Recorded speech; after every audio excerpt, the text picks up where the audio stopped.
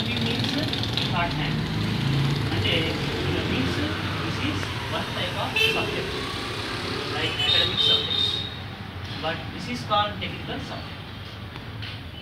That means it is it is a honor to that person because he was invented this subject.